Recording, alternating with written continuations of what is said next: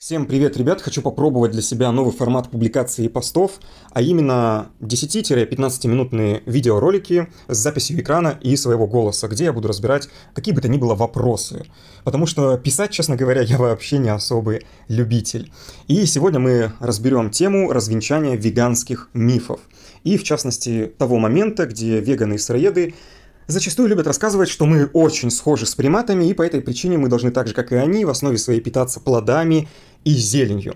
Также затронем момент э, того, что мясо гниет в нашем кишечнике, плодит каких-то не таких бактерий, из-за которых потом у нас продуцируется очень много слизи и так далее. В общем, сейчас все разложу по полочкам. Но сразу хочу сказать, предупредить всех братьев-веганов, что я не враг вам. И все то, о чем я сейчас говорю, это просто фактология. Но к веганской братье я отношусь достаточно тепло, потому что ну, намерения их, они довольно такие благие но, к сожалению, ими пользуются глобалисты и направляют их совсем не в ту сторону. Ну, в общем, что я хочу сказать. Я тоже крайне негативно отношусь а, к нынешнему ведению сельскохозяйственной промышленности, а, в частности, к скотобойням. Да, это настолько же мерзкое и отвратительное явление, как педофилия либо медицинская индустрия.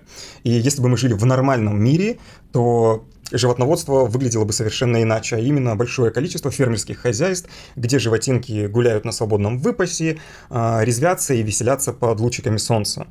И я думаю, такое видение животноводства устроило бы даже веганов. Ну да ладненько, переходим к делу по поводу того, что мы, наш желудочно-кишечный тракт схож с приматами. Это все официальная информация из больших научных журналов. И при желании вы все самостоятельно это можете нагуглить. На этой таблице э, продемонстрирована длина разных пищеварительных органов у шести видов приматов. Это гибон, симанг, орангутанг, горилла, шимпанзе и человек – и первая колонка — это длина желудка. И среди всех приматов она более-менее одинакова. Далее у нас идет длина тонкого кишечника, который, как вы видите, у человека значительно отличается от длины тонкого у приматов. И в особенности у гориллы. Да, веганы очень любят ходить а, в футболках, где у них нарисована горилла, которая ест зеленушечку. А, но, как видите, длина нашего тонкого кишечника, наверное, в 3,5 раза длиннее, чем у той же гориллы. И наиболее близкий к нам это шимпанзе. Потому что шимпанзе, кстати, очень большой любитель мяса. Э, они съедают в среднем до 300 а, килограммов мяса в год. То есть это примерно получается по 2 килограмма мяса в день. Они едят его не каждый день, но когда натыкаются, объедаются просто вдоволь. Более того, у обычного шимпанзе у них есть такой ритуал перед спариванием. То есть, э, если они хотят заполучить самочку, то они должны принести ему э, какую-нибудь трупятинку. Потому что конкретно это питание считается у них максимально ценным. Но они видят, как это сказывается на психике и на физике, и поэтому придают мясу ну, своего рода сакральное значение. на самом деле так делают не только шимпанзе в свое время, мы занимались тем же самым. Я, наверное, немножечко отошел от темы, но продолжу эту линию. Допустим, мы точно так же придавали колоссальную ценность именно охоте и животным продуктам на протяжении а, двух с половиной миллионов лет. Это, кстати, как раз-таки та самая причина, по которой строение всего нашего желудочно-кишечного тракта поменялось. Потому что долгие а, столетия мы охотились и поедали именно мясо. И это прослеживается на всех наскальных рисунках. Да? Почему-то древние люди рисовали именно охоту. Не собирательство ягодок, не, не знаю, посадку морковки. Это все была охота, и мы эволюционировали именно как раз-таки на животных продуктах. И сейчас откатываться к тому моменту, когда мы еще были приматами, и пытаться заполучить качественное здоровье на растительных продуктах, это можно сделать, но, поверьте, эффективность будет далеко не такая, как на продуктах животных. Итак, возвращаемся к длине желудочно-кишечного тракта. В общем, тонкий кишечник является кишечником хищника, потому что там пищеварение происходит в основе своей посредством кислоты в, нашей, в нашем желудке и посредством ферментов поджелудочной. Да, там тоже присутствуют бактерии, но их количество и разновидность примерно такая же, как и в желудке, там примерно от 15 до 40. И, кстати, как раз-таки, да, всеми любимая хеликобактер, на которую на которые людишки в белом сваливают все проблемы и заболевания желудочно-кишечного тракта, но это полный бред. Хеликобактер, так же, как и все бактерии на планете, чрезвычайно полезна. Единственное, чем она занимается, только поедает мертвые клетки, что в нашем желудке, что в нашем кишечнике. А, ну, в общем, разница понятна. Наш э, желудочно-кишечный тракт больше схож с собаками, нежели с приматами, если опираться на длину тонкого кишечника. А дальше идет длина и размер а, аппендикса, да, где, грубо говоря, тусуется а, львиная часть микрофлоры. И у гориллы это самый большой орган, потому что она за счет микрофлоры-то, собственно, и выживает. И затем у нас идет длина толстого кишечника, который у нас также значительно укорочен, в отличие от всех других приматов. Потому что приматы, поскольку они питаются зеленью и в основе своей клетчаткой, самостоятельно они ее переварить не могут. И именно этим занимаются бактерии в толстом кишечнике. То есть они являются ферментерами а, заднего отдела кишечника. То есть поедая всякие зеленюшечки, а, листочки, цветочки, не они все это дело переваривают, а бактерии в их толстом кишечнике. И благодаря такой а, скажем так, обширной длине этого кишечника, они успевают извлечь оттуда все, ну, по крайней мере, большую часть питательных веществ. В любом случае гораздо больше, чем мы. Но если мы питаемся салатиками, мы не в состоянии извлечь такое большое количество микроэлементов, э, витаминов, и получить те же самые жирные кислоты, да, которые получает горилла. А, я, к сожалению, это исследование не нашел, вернее сказать, я его не искал, вспомнил про него только сейчас, где можно было продемонстрировать, что в основе своей горилла находится в кетозе. А, то есть вот как карниворщики поедают мясо и жиры, оказывается, в кетозе у горилл то же самое, но настолько большое количество бактерий в толстом кишечнике, что они продуцируют жиры. И горилла, собственно говоря, практически на них и функционирует, поедая зелень. Ну да ладненько, надеюсь, этот момент понятен, да, касаемо неадекватности сравнения нас с приматами. Это не какая-то уникальная информация, просто погуглите а, длину, скажем так, разницы а, кишечника, и вы эту информацию легко найдете. Э, едем дальше. А, касаемо еще вот длины кишечника, да, небольшое подтверждение. А, здесь продемонстрирована длина желудочно-кишечного тракта носорога, льва и человека. И мне на самом деле лень считать длину носорожевского, можете потом сами посчитать, но конкретно у льва и человека практически длина схожая. А здесь вот как раз таки написано, длина тонкого кишечника у льва 6 метров, а у нас 6 метров 80 сантиметров. Длина толстого у льва 100 сантиметров, у нас 140. То есть, как видите, э, ну, наш желудочно-кишечный тракт гораздо ближе к льву, к собаке, кошке, э, нежели к приматам. Это, кстати, все официальная инфа из, из журнала Nature. Так, и вот самое интересненькое, это э, здесь таблица э, кислотности желудочного сока у разных видов животных. Сейчас найдем здесь человечка. Вот, э, humans, э, примат, Homo sapiens, omnivore, всеядный. Э, сила кислотности полтора pH. Это на самом деле одна из самых сильных кислот вообще на всей планете. По той простой причине, что человек долгие столетия являлся хищником падальщиком. И сейчас для сравнения попробую найти каких-нибудь а, приматов, чтобы продемонстрировать а, их кислотность. Вот какой-то Синомалгус манкий. Тоже амнивор всеядный, у него 2,1 кислота. Ну, скорее всего, этот чувачок ест всяких насекомых, ящерок и так далее. Так, вот еще у нас три примата. Sykes monkey, какой-то baboon, langur monkey. Я вообще не знаю, что это. За живности такие но их кислота 3, 4, 3, 7, 5 и 9. То есть, как видите, у всеядных пониже, а здесь э, э fermenter, я так понимаю, заднего, э, заднего отдела кишечника. То есть он так же, как и горилла, в основе своей питается зеленью. Так, сейчас еще каких-нибудь обезьянок поищем. Вот еще какой-то ховл, ховлер манки. Я не знаю, что это за... Тоже это 4,5. Сильвер, лифет манки 5,9 и тоже ферментер заднего отдела а, кишечника. Ну, то есть он ест зелень, а за него эту зелень едят бактерии. Ну, то есть все так же, как и с коровками. И кислотность, ну, она просто разительно отличается от нашей, да, она вообще никакущая. М-м- Ладненько, в общем, с обезьянами, я думаю, понятно. Теперь э, посмотрим на животных, чья кислота достаточно близка к нашей. Так, вот полтора такта мы. Ну вот 1,8 дальше идут какие-то, 1,6.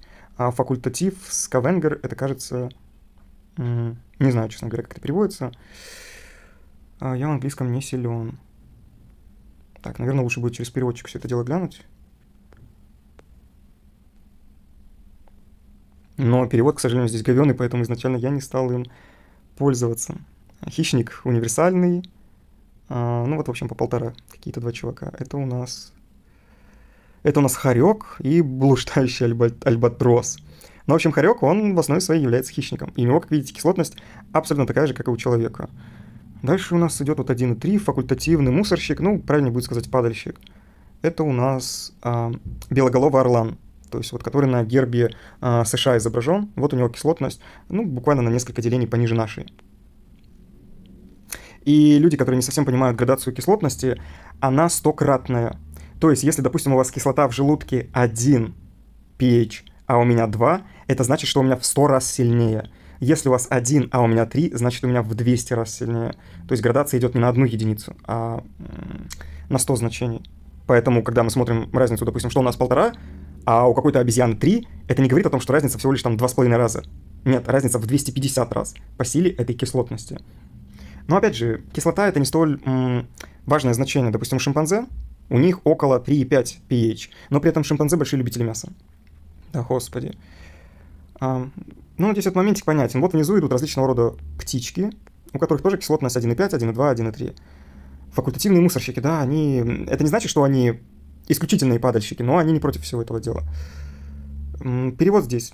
Корявенький, какая-то сипуха, черный хохотун. Ну, это всякие вороны, совы, орлы и прочие. Ну, просто Яндекс почему-то вот настолько коряво все это дело э, переводит. Кому нужен будет этот документ, вы можете найти его в моем э, телеграм-канале. Да, и тут вот можете на английском языке глянуть. О ком идет речь? Я, честно говоря, всех этих названий не знаю. Ну, в общем, я думаю, этот момент понятен с длиной желудочно-кишечного тракта и с силой нашей кислотности. Это пример девушки, которая была на веганстве, и, как видите, выглядит она не очень. А затем перешла на тот тип питания, на котором нахожусь я. И выглядит она, ну, очень аппетитно. И сейчас продемонстрирую ее... А, о ней написана статья. Вот она ест э, сырое сердце, пьет сырые яйца. Также, кому интересно, это все есть в моем телеграм-канале.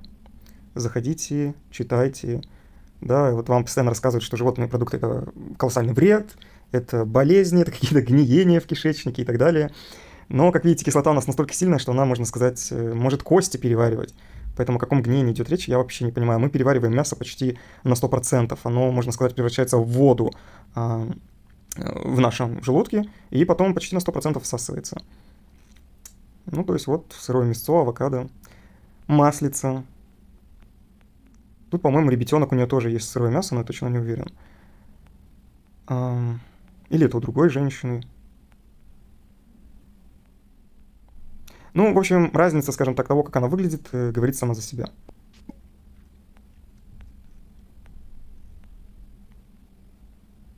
Да, и по поводу вегетарианства приматов. Также вот статейка, как э, шимпанзе устроили геноцид своим маленьким э, собратьям. Тут где-то было сказано, что они поедают до 900 килограммов мяса в год. Ну, в общем, можете поверить на слово, не хочу я все это дело перечитывать. В общем, шимпанзе очень любят поедать других обезьянок. Да, и вот хочу также показать сравнительную разницу. Так, а...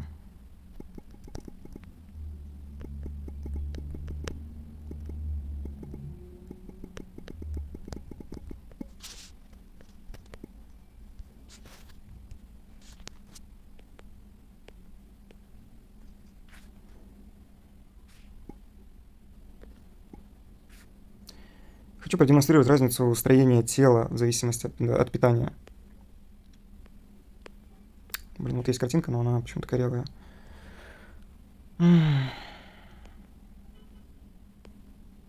Ладненько.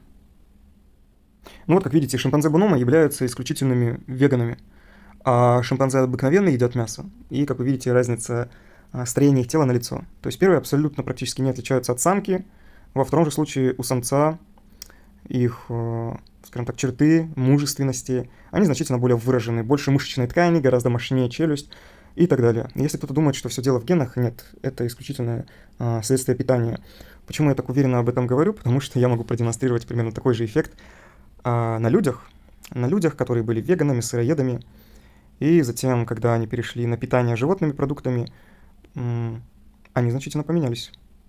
У меня есть пост на эту тему. Обязательно надо лайк поставить, да, сам себя не похвалишь, никто не похвалит. Ну вот, собственно, растительный сыроед и человек, который начал употреблять животные продукты. Абсолютно та же самая разница. Факторианец и человек, который ест животные продукты. Ну и вот эта девушка, э, скажем так, которую я показывал. Для чего ведется веганская пропаганда? Нет э, никакой заботы о животных.